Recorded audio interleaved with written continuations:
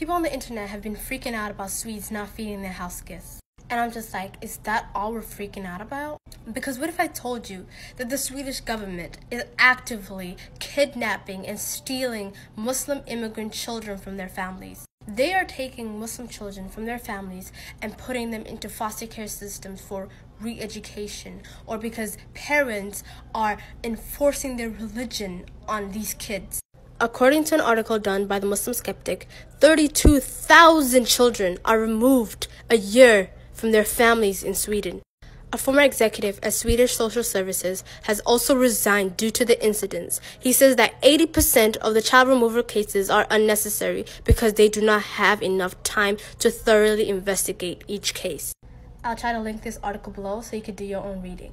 But it is absolutely mind boggling that in just a span of a year, 32,000 children are removed from their homes. Muslim families have been pleading for the release of their children. They even say that whenever they try to get a court date or plead their case, most of the time, they're not even allowed to do that. I truly believe there needs to be a global outrage and a plea for investigations into these cases. There needs to be an investigation into these re education cases, into these abuse cases, into these cases where Muslim immigrant children are taken from their homes and placed into families who have secular and Western beliefs.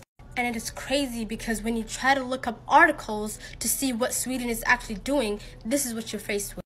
All these articles say Sweden battles disinformation on kidnappings on Muslim children. Sweden debunks disinformation on Muslim child kidnappings. Sweden battles disinformation on kidnappings of Muslim children. Sweden debunks disinformation on Muslim child kidnappings. Sweden fights disinformation on Muslim child kidnappings. Sweden challenged by Islamist rumors of child kidnappings. I find it crazy when you look for information, these articles have the same exact titles. It's as if somebody's paying them off. I truly urge everyone to start talking about this.